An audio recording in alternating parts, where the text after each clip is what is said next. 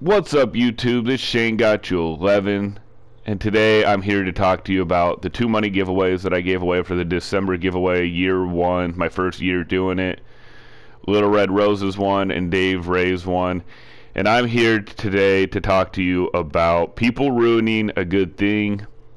I am vastly disappointed in myself for not double checking, but I'm also disappointed in the people that I'm giving away free money, so down the road you might have won, and they scammed myself and they scammed Dave Rays. You guys are trying to ruin a good thing, and it's like, man, I don't even know if I want to do it next year now.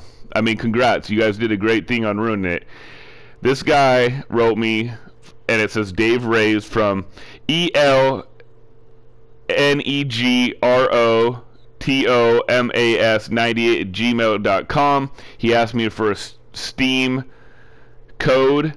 I tried to hook him up with that. I went and did that for him. They took all my license, my driver's license. They took my info because I thought it was Dave Raves. And then they canceled me. So they have my license info and all that. And then when I couldn't do that, I wrote him. He said, "Hey, send it to my PayPal, my brother's PayPal account, which um, is let's just see."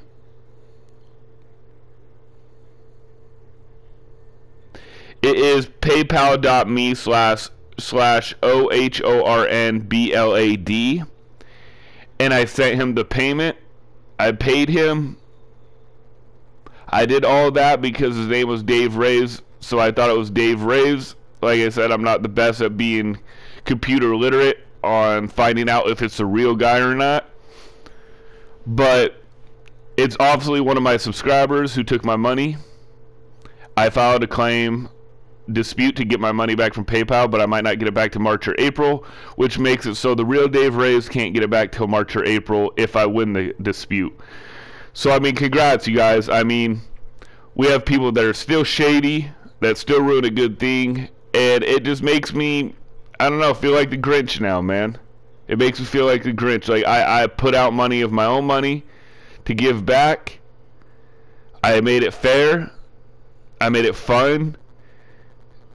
And then we got scammers, and I'm posting their email address and I'm posting the PayPal address, so you guys can uh, do what you want with it. But uh, congrats on um, scamming me. I hope you feel good about it. And please um, unsubscribe from me, bro. I don't want you guys around. You guys are selfish and shady people. If you guys, if any of you guys are going to be scammers down the road, if I ever do this again, unsubscribe from me. I don't need it.